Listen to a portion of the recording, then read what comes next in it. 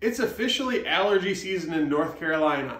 I never had a single allergy in my life until I lived here for five years. And that's why in this video, I'm gonna talk about the two products that I use to decrease allergy symptoms without taking medication. The first is local raw honey. It has to be local to where you live and it has to be raw. I use honey made by the Little Beekeeper and we keep it in stock at the office. The best way to use it uh, to prevent allergies is to take a tablespoon every day. The minuscule amount of allergens in the honey will help to desensitize your body to seasonal allergies in your area. The second product that I use daily is SinuOrega Spray. One spray in each nostril every morning helps keep my sinuses clear and protected. During allergy season, I use it more often throughout the day. We used to keep it in stock at the office, but my wholesale cost is more expensive than I can get it on Amazon. So I just recommend people go to Amazon and get it. I will have a link for that below.